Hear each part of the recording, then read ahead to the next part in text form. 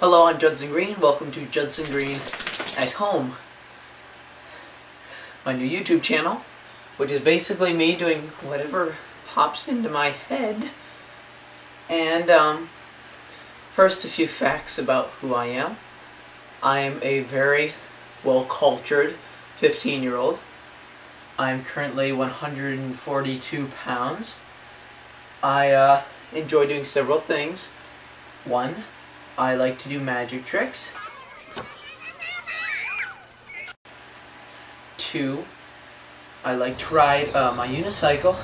It's one thing I do like to do and enjoy. Three, I like to play sports and run around and um, outside or wherever.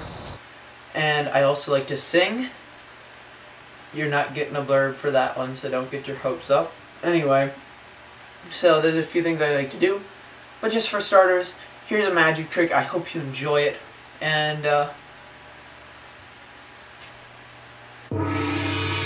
yeah. Okay, for this trick here, what we're going to need is a deck of cards. They're all different. We're just going to select a random card.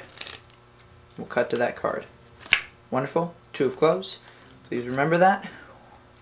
Two of clubs roughly in the middle of the deck. There we go. We're just going to push it in like that. And um, now what we're going to do here. Shuffle the deck so know it's mixed in. And we're just going to choose a random card that's different from the Two of Clubs. Okay, here how about the King of Hearts? Okay, so the King of Hearts definitely not our Two of Clubs. Doesn't look anything like it, but watch this. Okay, watch the King. Got it? King. Watch.